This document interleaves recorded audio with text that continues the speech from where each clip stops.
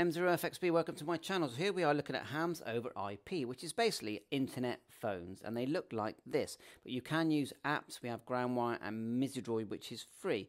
So hams over IP provide a server which link hams together using this system, and they link to RF links, users, and many other things. You can support, they do uh, accept donations, and you can join their Discord just by clicking here where it says Discord.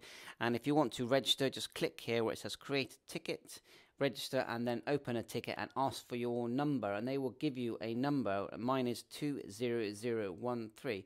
So uh, give us a call on my uh, internet phone. These are well worth it. I really enjoy using this system, and thanks so much to the Hams Over IP team for what they're providing. We'll just see if the, the website is at early stages. This is just, you know, quickly getting it up. Well, not quickly, they put a lot of work into this, um, but it'll get there eventually. So, 7 3, thanks for watching my channel. Catch you on air, all the best.